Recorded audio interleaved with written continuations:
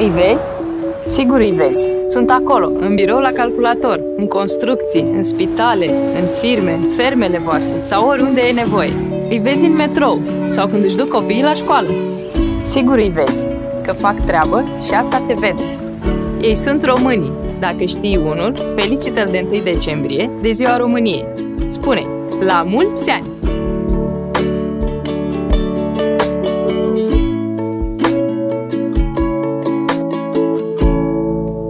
Mersi, thank you, grație, v-am pupat!